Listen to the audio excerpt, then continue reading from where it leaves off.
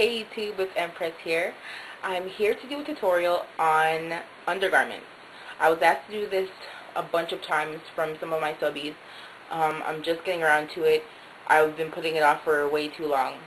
But yeah, the most important thing about undergarments, like the number one thing that everybody needs, not everybody, every girl needs, is a proper TSD.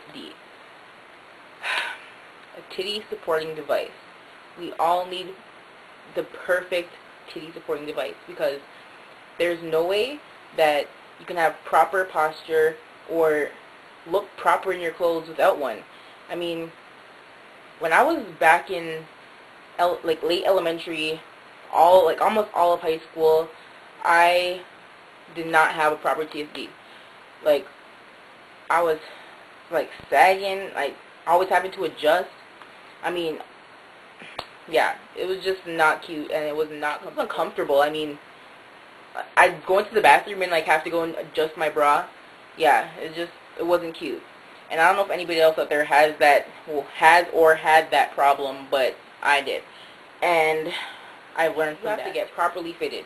Like I have not done that yet. I just buy what fits me properly and you know makes me look like I have great posture, and yeah, I mean, for now it's working. I do not have a $100 to spend on a friggin' prop, uh, on a custom-made bra. But for those of you who do, you should go and get that done. If not, you just, I think, for me, I think if I bought, if I buy a bra that's one size, like, a bit too small, like the cup is a bit too small, that holds me firmly and that keeps me in. Like it might sound weird to you guys, but to me it works. Like if I if I have a bra that fits like a size too small or it's like a cup size is a bit too small, it's definitely gonna hold me and secure me tightly so they're not like spilling out, they're not like slipping through the bottom or what whatever. As long as um my cup size is a bit too small, that works for me. I don't know about anybody else. Anybody else should go and get their um their self um, fitted. Um, where I get my bras from, I don't think you guys have it like anywhere else. I think it's just a Canadian store. It's called La Senza. Um, they're really cheap.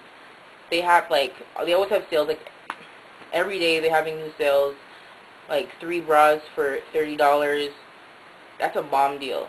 Like I don't know how it is in the states. I know you guys have like wicked prices out there, but I don't know if anybody can top three. Um that's it for bras. Um, the other thing is you need to have a proper girdle. If you have like a little bit of fat spilling over, like you know the muffin top, a girdle will easily take care of that. You don't need the expensive Spanx or like Body Magic. I've seen it work wonders. I have my sister's friend, she wears Body Magic and like it's a big difference. Like, she went down like three sizes two to three sizes. Her stomach was flat, well, with it on. Like, her stomach was flat. I mean, she tucked in her shirt. There was no bulge, nothing. It was sick. Like, it cost, I think it was like $120, but it's well worth it if you have the money. Um, yeah, but if you don't really have the money, just get like a little, a girdle, like, this is mine.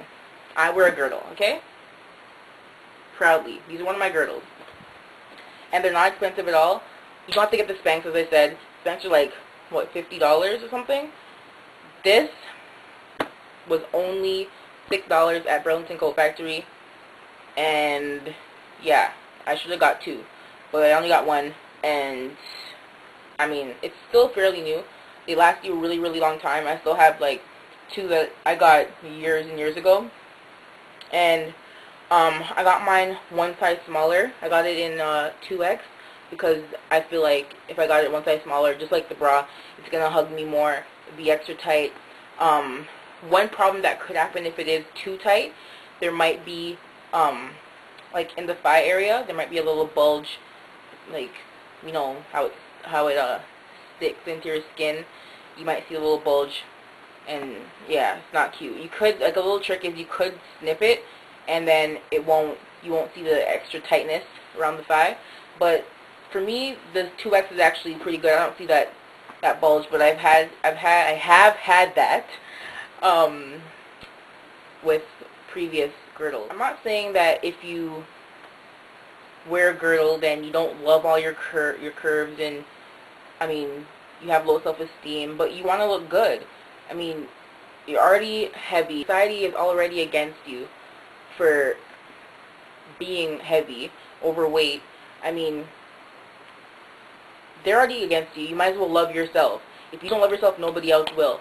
That's that's all I have to say. I mean, wearing a girdle is not doesn't mean that you don't love yourself. I know some people are like embarrassed to say that they wear a girdle or, you know, deep down they're kind of ashamed, but there's no need to be. Like, it works wonders. You look flawless with a girdle on. You don't see any extra bulge. I mean, I see people out there who don't have on um, undergarments, and it's just, it's a little bit sloppy. You want to look neat. You want to put, you want to look well put together. I mean, don't you? yeah, that's what I thought. So, um, yeah. just go out there and get one because they work wonders. I mean, yeah. anyway, doodles.